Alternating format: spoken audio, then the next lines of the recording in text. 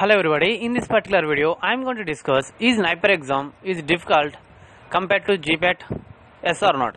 So the answer is no, NIPER exam is very very easy compared to GPAT exam. But why lot of people feel NIPER exam is difficult compared to GPAT exam.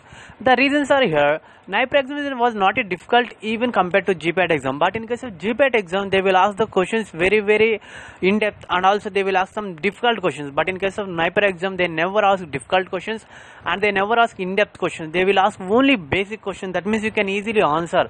For example, who is the father of pharmacology, or who is the father of pharmacology? So these are direct questions. There is no nothing to think if you know the answer you can easily put so that means NIPER exam is very very very easy even compared to GPAT exam.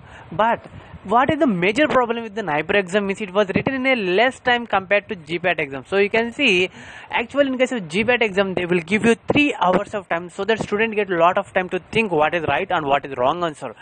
But in case of G, but in case of NIPER exam you have only 2 hours time to attempt the 200 questions. But in case of GPAT exam in order to attend the 125 questions. They will give you time of more than 3 hours but in case of exam in order to attempt the 200 questions. They will give only 2 hours time. So that is a major difficult task here. And at the same time in case of GPAT exam you get the time to review the answer what you put it is right or wrong but in case of NIPER exam you don't get the time. Because if you just read the question you have only time to read and answer. After attempting the question you don't have even time to see that answer is right or wrong in case of NIPER exam. But in case of GPAT exam you have that time. That is the only major difference.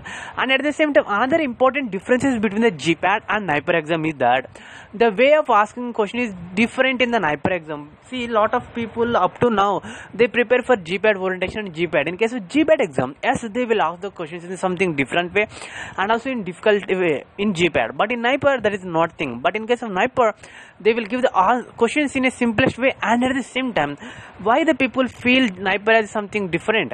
The reason is that in case of GPAT exam, we have the syllabus, but in case of NIPER exam, we don't have the syllabus. But the same syllabus of GPAT will be replicated in NIPER exam also.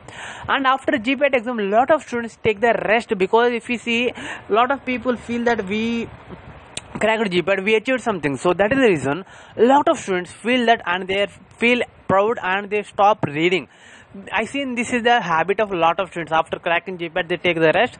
So because of that rest, some students feel GPAT NIPER is difficult exam. But if we see NIPER is very easy. If you work hard, lot of people work up hard up to GPAT, but NIPER they take the rest. If you are the student like that, you are doing blunder mistake. But 90% of students do this blunder mistake. After cracking GPAT, they take the rest and they enjoy.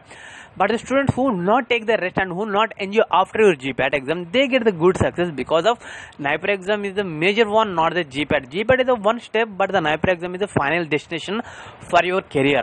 So that is the reason. Don't take rest and prepare. So if you take if you take the rest, so no one will help you to do that something. And what we need to get the success in NIPER. So if you want to get the success in NIPER exam. read always in a comprehensive manner that means you already prepared very well for GPAT exam if you, you see here in case of NIPER exam uh, the you you already cracked NIPER exam means you already prepared very well for GPAT exam. So what you need to do? Say take the same syllabus sheet and take the same book what you prepared or say take the same coaching material what you prepared. So read all the things in a comprehensive way. So if you started reading all the syllabus in a comprehensive way automatically you get a very good success. After reading the all the syllabus in a comprehensive way after reading you can attempt the online test. So and try to tune your mind to attempt the 200 questions in a just 2 hours time.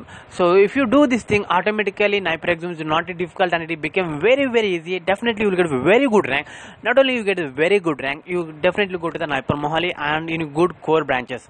So if you want to do that so do this thing and follow these strategies. It will help you